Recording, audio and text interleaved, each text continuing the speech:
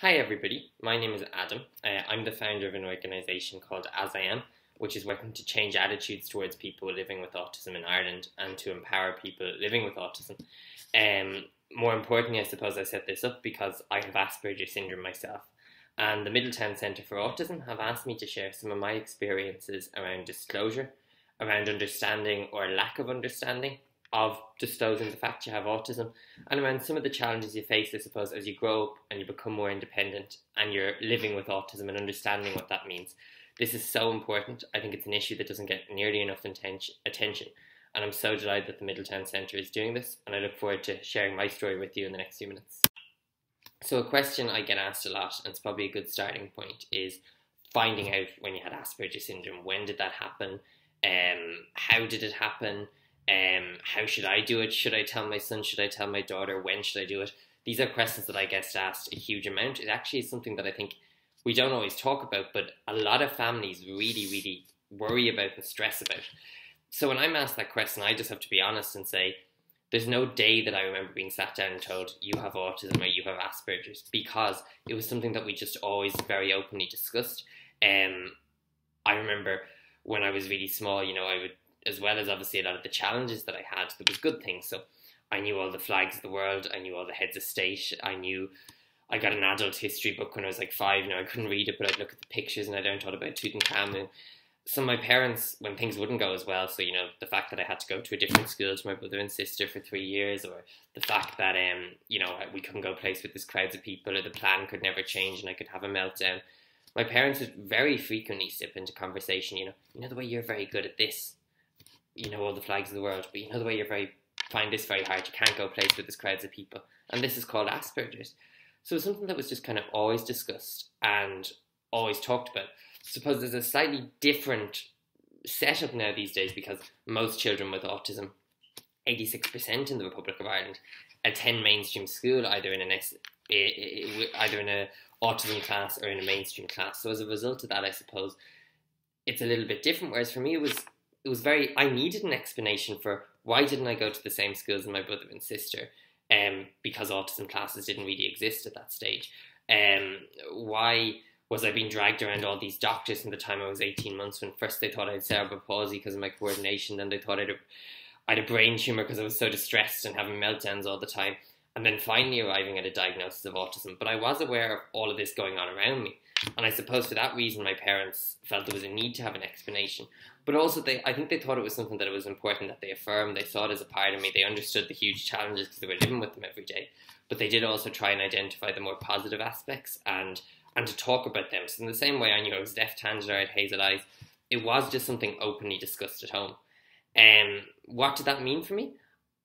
I because I want to talk about how I felt about that. And as a younger child, I think it was something that was quite positive. Uh, I kind of liked this this little identity that I had. Uh, whenever there was, you know, maybe a famous person who was talked about as having autism, or there was, um, you know, a television character, or anything about it in the news, my parents would try and talk about it and talk about it in a very positive light. So I quite liked this kind of membership of, I suppose, a secret society in a way.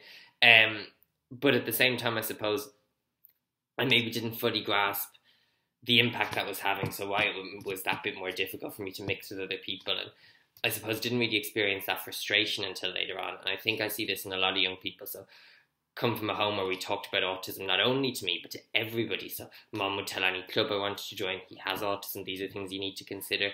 We were open with our school when I made the transition to mainstream. So something always openly discussed to a stage when I hit 11 or 12 and didn't want to hear the A word, just saw it as this really negative thing. And I'm going to talk about why I saw it as that, but I just didn't want to get into it. So I see a lot of young people who come from families maybe very involved in support groups around the country, very engaged in the autism community, probably from a very young age being brought to just about everything to do with autism. And kind of as they get that little bit older, they just don't want to have anything to do with it anymore. So I think that is, is, is something that definitely does happen. The next thing that I want to talk about is school and did they really understand and support me in I suppose dealing with my diagnosis or understanding it. So I went to a special school for three years, um, first to a, an autism preschool and then from there directly to the feeder um, national school, uh, Ballyonmeadows. Um, and when I was around seven and a half, my parents, or maybe seven, my parents began to look at how can we mainstream because I'd really benefited my, from my time in special school. I do think now in this day and age where very much the policy is around mainstreaming, and I very much support that. Sometimes we can be very dismissive of mainstream of special education. People ask me which was better. I can't say because one enabled me to get to a stage where I could sit in a classroom and I could learn, and it was very positive in that respect. Um, what I would say is that when we made the, my parents made the decision to help me move to mainstream, and actually I should say we because I remember my mom used to ask me, "Do you ever think you could go to a school like your brother and sister?" And I used to say no initially, but then one day I said yes. So that really kind of lit a fire under mom and dad about can we make this happen. Um, so they did. They very much helped me, and the school we picked very much helped me in making that transition, but also in trying to be understanding of where I was coming from, not trying to fit a square peg into a round hole. Um, so one of the things that was done is a buddy system. So maybe six months before I made the move, they picked three or four children in the class to begin visiting me in special school. I began visiting the school once or twice, went on a school trip with them, kept in touch with these young people. The idea being that I kind of had allies in the classroom before I made the move. Um, I don't know if mature seven year olds are a thing, but they were kind of, I suppose, the people who were chosen were kind of leaders. There were people already popular, involved in the different kind of groups in the class. So I was going to have a bit of social acceptance before I came in, and that was hugely helpful because it was quite a transition to move from a classroom with six children and three adults to this. And we chose a school that was relatively small. I think it only had 18 people or something in the class still a very big move. Um, my class used the TEACCH method in special school, so I had my own workstation. I worked from left to right. Everything was very calm and controlled. To this very busy room where it was very hard to focus on what was going on, very hard to sit still, very hard to understand what the teacher wants us to do. These were all big challenges. So having that acceptance was important. Um, also, what was important was uh, mom and dad chose a school that had a very inclusive culture. It was a school that was actually different to my brother and sister's school they chose it because they thought that the principal really got it and the fact that it was that bit smaller, etc. And uh, one of the things I suppose that was hugely positive um, was that when I made the move before it happened, my parents allowed the class to have a talk about difference and about autism. Now, I don't think they got into kind of the triad of impairment or the, the, the, science of autism, but I think they just touched on practically some of the things that I do that might be a little bit different. Some of maybe my idiosyncrasies or whatever, so that there was an understanding before I came as to why I might do certain things. And that was very helpful, I think. Um, again, it's something that other people would fear doing, but I do think it meant that there was a little bit of understanding before I made the move. Um, what I would say, I suppose, is that isn't to say uh, that things were without their difficulties. Um, because it was still very difficult for me to interact with young people my own age when I was growing up in primary school. And at first, perhaps I didn't notice it. So, even for example, if we were playing games in the yard, big open space, after a few minutes, I'd often drift away and would run around doing my own thing. And that gap, I suppose, became more pronounced as we got older. So, for example, when you're younger, maybe you don't realize as much the fact that you're different. Um, maybe I suppose the gap isn't as pronounced because everyone relies a lot on their parents and everybody um, probably is a little bit less independent. Um, but from my perspective, I suppose as we got older, people were going further and further afield. People were becoming more and more like teenagers. And I was caught in this stage where I wanted to be more independent on the one hand, uh, but on the other hand, really wanted everything to stay the same. And obviously, part of the process of a teenager is breaking rules and breaking boundaries and pushing forward. But for me, that was the last thing I wanted to do. Um, so in that sense, that was probably my most challenging time in national school. But I would say that school was very good. The other thing that I would say is they tried to very much um, support me in learning into things that I wasn't good at through the things that I was good at. So, for example, when I moved to national school, um, I was about 18 months behind everybody else academically because everyone else had been in a mainstream set, uh, setting from the time I was in a special school setting with obviously a very different curriculum. And also, my parents had been clear when I was in special school, they wanted the emphasis to be on social skills and stuff. Um, so when I moved back, there was this huge gap in terms of reading, writing, maths. And we had to do as well as manage the transition. We had to close that gap. Um, myself and my SNA and the people supporting me. Um, but what? But to be honest, if, and even now, if you put something in front of me that I'm not interested in, it's very hard for me to engage with it or focus on it, and it would have been even more so then. Um, but my school, instead of just kind of constantly trying to ram these things down my throat, they tried to engage me through things I was interested in. So how did they improve my presentation skills and my reading and my writing? They got me doing history projects and resource, so engaging me in things I was really interested in, and then getting me to actually present them to the class after I completed them, which I think was also very good because it showed me in a very positive light to my peers. Um, I remember doing math sheets that used Roman numerals. Uh, they tried to engage me through the things that I was interested in, and that was really important. The school I was in was also kind of known in the town for, for considering a small national school, lots and lots of clubs and activities, extracurricular stuff. And that was so helpful for me because my parents taught me how to socialize through activities and interests, um, which made such difference because I found it more hard than the unstructured thing, and I would only want to talk about history and stuff. It was very hard for me to talk to people my own age, so it was a lot easier um, to socialize through an activity, something I was doing. But at the same time, I was exposed to people my own age, so being able to do that in national school was very positive for me, I think, and did help my social skills. The other thing that I would say was very helpful was I had a really strong relationship with my SNA, um, which did a number of things for me. Um, because one, it was about having this person that I could really who understood me better than I understood myself. So when I was becoming stressed, she knew when to when I needed a break. She knew when I needed a rest break. Um, she was my advocate in the classroom, so she'd be very good at explaining to teachers why I might do certain things, kind of fighting my corner when things weren't going as well. Um, she very much understood my sensory needs, so there was this really powerful bond that I think got me through the early stages of making making that transition. But also, I think actually got me to a stage where I was able to go to secondary school independently. I know there's that whole fear of, oh, if you have this one SNA for one one period, perhaps you become over dependent. But my SNA was so good at her job, she never allowed that to happen. So as I got older, she went from sitting next to me to being down the back of the class most of the time doing her own thing as I got older and only coming to me when I needed her.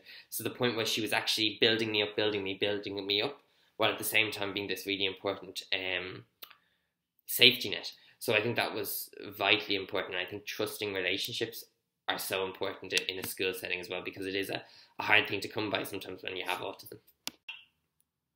Um, the next thing that I'd like to talk a little bit about was the whole area of telling my peers that I have autism and telling the community. So, as I've already mentioned, come from a, a background where my family tell everyone that I have autism and are really open, and there was definitely benefits to that. So, even for example, when I was very small, it was very hard for a lot of clubs and stuff to take me because I'd just make for the door if I was hyper or if I was if I was bored or things got too much for me. So as a result, it was important that I had uh, my parents would actually speak to clubs, explain my needs, get me into things, so there'd be an understanding if anything went wrong, which was so helpful.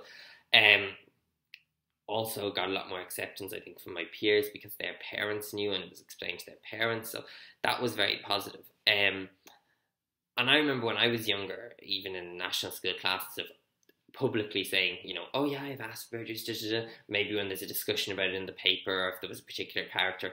I know when I was in national school, uh, Curious Incident of the Dog in the Nighttime came out, and I remember reading it in resource. Um, I'm still surprised now that I read it as an adult that mom let me read it. Um, but uh, I suppose uh, that was, you know, something that was very, again, very affirming, but also something we talked openly about. So I had no issue really telling it or explaining it to my peers as I got older. But then, as I said, when I got older and I got to puberty, I didn't want to talk about it. And I can't remember a moment. I think it was a series of moments really where I began to realize that I was treated very differently because I had Asperger's.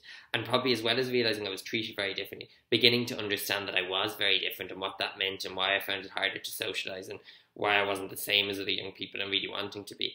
So I remember kind of overnight going from a point where I wanted to talk about it, where I didn't want to have any association to do with autism. And I see that now, I see so often, you know, as I am, as obviously an organization trying to change attitudes and fight some of the reasons why I didn't want to talk about autism, the kind of patronizing and the, the misunderstandings and the stereotypes. But so often, even now, I meet parents and they come into our events and say, you know, he's in the car, but he just won't come in because he doesn't want to be seen at an autism event. And I can so understand that because that's definitely what I went through when I was kind of finishing national school.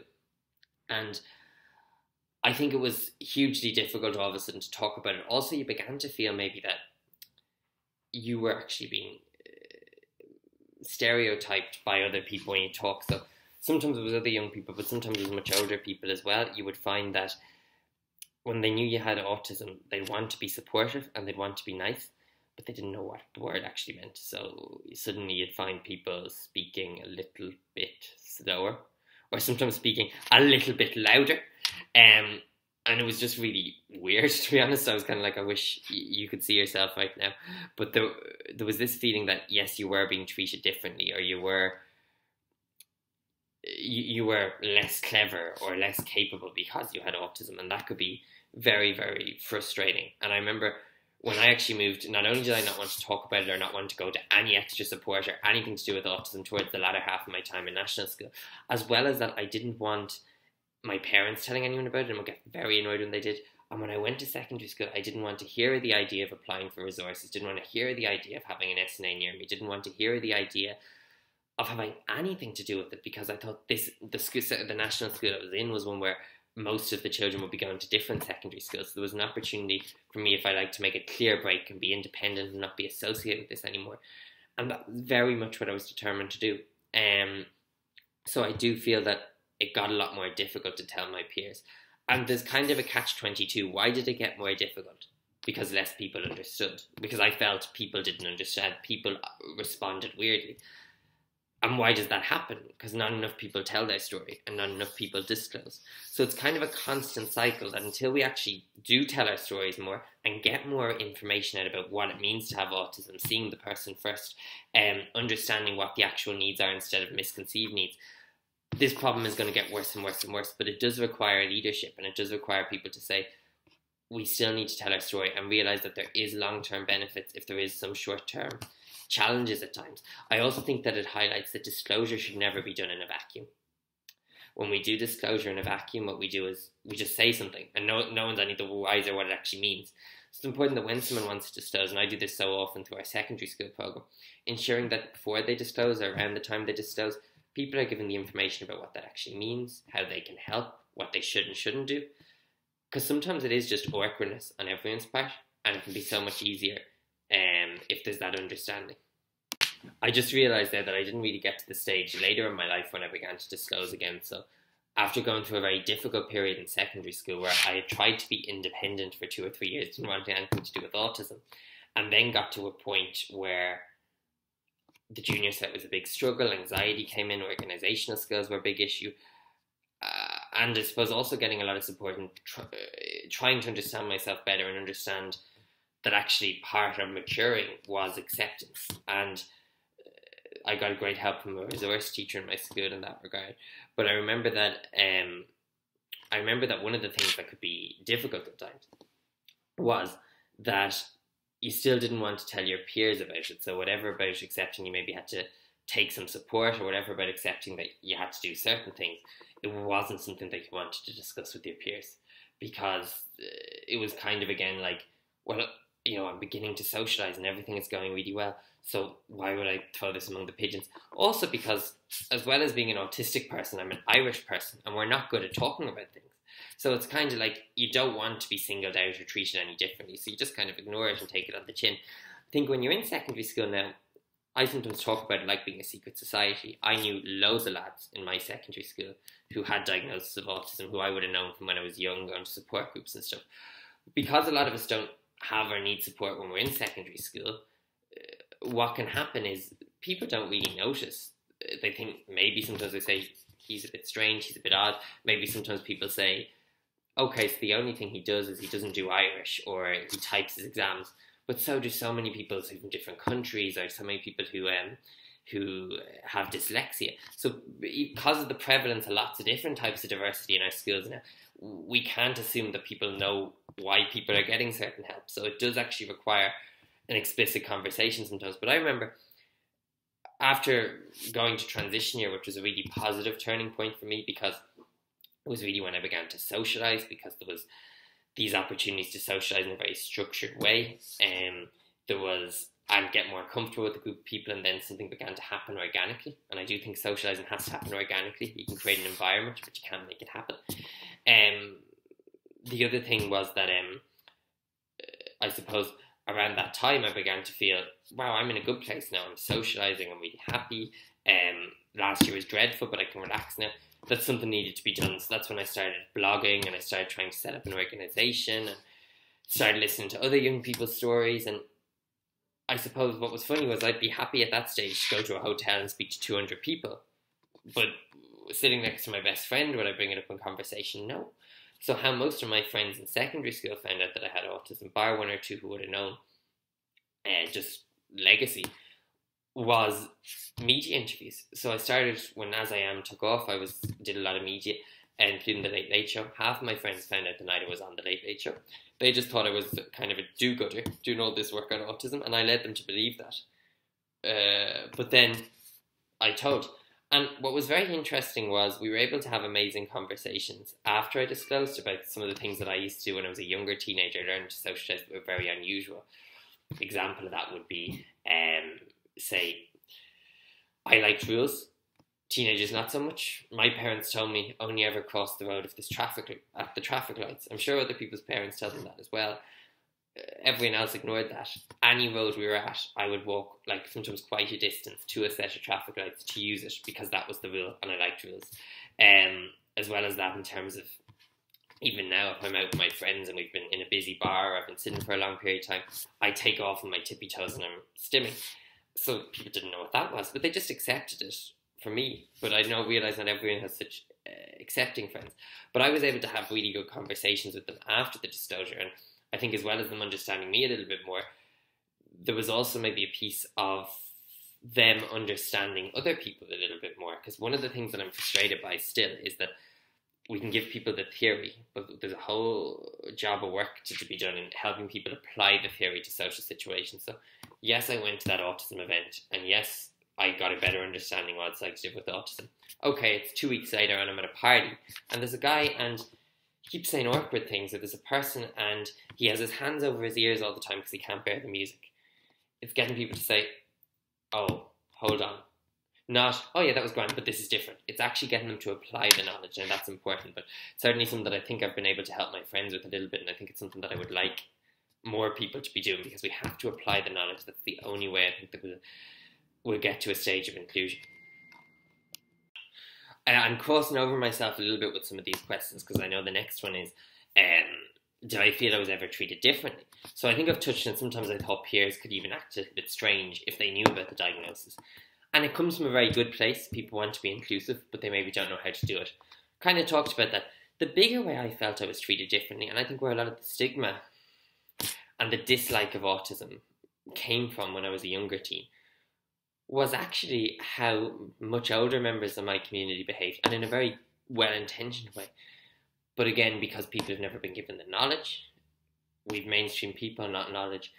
I would find bizarre situations where people would treat me so differently as I as I grew older in terms of trying to be really nice, but being really patronising and actually holding me back. Um, I remember one time being asked by somebody, what stage you at in school now? Third year. Oh, you'll do the Junior Cert. You wouldn't do the Junior Cert, though. Sure, you wouldn't. And I'm kind of looking saying, God, I wish I wouldn't, but actually I am. Um, you know, so there's this misconception, I think, sometimes that people just have a general idea of special needs, no idea what it means. And so how they actually try and help you and support you can be really disempowered. And I think it raises a huge question about how do we provide support to people as they reach kind of that preteen, teen, and into college stage because what we do at the minute is we provide supports in the least discreet way possible. Um, and you know, if you're going to discuss something very personal, um, or if you wanted support with something maybe that there's nothing to be ashamed of about it, but that you're just kind of self-conscious of. Let's let's take mental health as a prime example. I think you'd want that done in a very discreet, sensitive, appropriate manner. Sometimes that support that we provide to people with autism, we don't ask how would you like to provide it provided. We don't like ask is it something you're comfortable with? Rather, it's something we just provide in this really fixed shape in front of everybody. So, in other words, maybe as you get older, I see so often when I'm in secondary schools, there's a teenager, you know, you'll see a teenager with autism walking down the corridor, and they're nearly having a wrestling match with their SNA because they don't want this person walking next to them all of the time because they already feel different. They feel this highlights them further. You go into schools and there's this big stark door that says resource on it, and it's right in the middle of the of the the building, and people are conscious about going into the room. Uh, I remember distinctly, I'd be so frustrated in sixth class. I had to get assessments and stuff done for going to secondary school, and sometimes even we'd be doing nice things in class. It wouldn't you know necessarily be class. It, I remember occasion there was activities and stuff, and I kept being pulled out of these activities to go to this assessment stuff. And of course, it was needed or whatever. But it's that thing that when you're at that stage and you're beginning to feel uncomfortable, begin to feel different, and you have to walk to the end of the classroom and go with someone, or you have to leave the classroom and go to something else. Find it bizarre at secondary school, we provide a lot of the support, SPHE, CSPE, religion, these classes that aren't seen as important, but actually I think SPHE is massively important for a lot of people with autism. But as well as that, it's just that bit where there's a lot of team building and more activity based classes, and we take people with autism out of them. No, I don't have all the answers about how we fix that, but I just think supports need to be a lot more bespoke. And the quest, the thing that never happens at the moment is we never say to teenagers, "What are you comfortable with?" We just start providing support. Sometimes support that isn't even needed, in a very over empowering, overpowering way. And I think that's it, it's it's unfortunate because what I see, even talking to people who are in college now, is because of how the support is provided people stop taking it even though they might need it. I've experienced that when I was younger. But people do it much older. So even I didn't like how supports were provided in school. So now in college where I'm really going to need supports in transition, I'm not going to take them. And I think that's a problem. So we really need to get to the bottom of that. And I think there is a reality that when people with autism don't want to take support, for whatever reason personal to them, we need to get creative about how can we provide those supports in different ways. Just to give you a very basic example, not having an SNA in secondary school probably didn't need a full time SNA in secondary school either. Um, but what was important for me was to have that safety blanket that I spoke about earlier. So someone I could go to who knew me really well, who could withdraw me from certain situations that we had a very close relationship with. So I was able to substitute the role of an SNA as I got older with a couple of incredibly strong relationships with teachers. And again, I'm coming back to that whole issue of trust and trusting relationships and having that network of people around people with autism. So I think that when a person won't take support directly, we need to look at well, how can we provide support differently, and I think that's that's massively important. And I think the final thing, just in terms of building capacity, that I wanted to touch on a little bit is uh, one of the big problems in how we provide support and how we support someone at the present is it's actually completely disempowering. So, for example, when I was in secondary school, I was really lucky to have this incredibly supportive secondary school. Um, when I had faced challenges both years the state's exams, they stopped. They looked, how can we do this differently? Let's build a game plan for you. I was, for example, at one stage given my own room to study and in and towards like the very, very end of sixth year, because so, supervised study too difficult to sit still. Home hard for anybody. So this space where I could move around, I could study in a different way using podcasts. Really, really supportive. Got me my own exam center because uh, the anxiety and stuff being in the room with other people couldn't have done enough to help me. Um, but the problem for me, even now, is often when I need help, I don't ask for it until it's way too late because I get really anxious about even asking it for it and how it will be responded to. I was lucky that when I was in the school system, um, my mom could pick up the phone and say, This is a problem, and get it sorted out. The problem is then overnight we go from this highly supportive environment where there's a very clear structure to work within to going to college or going to the next stage in life, work, PLC, adult services, and all of a sudden you're expected to advocate for yourself.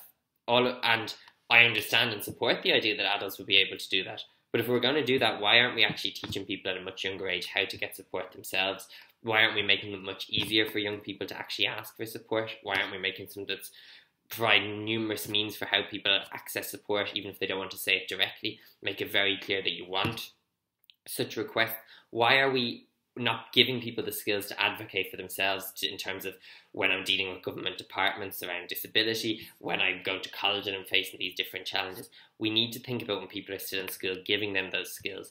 If we're go, if we actually want them to do it when they're adults, because at the minute what's happening is the moment someone becomes 18, they're expected to advocate for themselves. Their parents are locked out, but it's so wrong because we haven't given people those skills. Uh, I know in my very brief visit to college, um, that was a very big challenge because where do I actually go to get help? It's such a bureaucracy. No one even knows me by name here anymore. So I actually need to have these skills, and we don't give people those skills at the moment. And I think that's very bad. So we completely protect people from the world for ages. Then we expect them to grow up over the night. And I think it's it's something that's very worrying, and I think we need to do more to actually build people's capacity to do things for themselves. Because at the moment, we only talk about resources, but we don't actually talk about resourcing the person.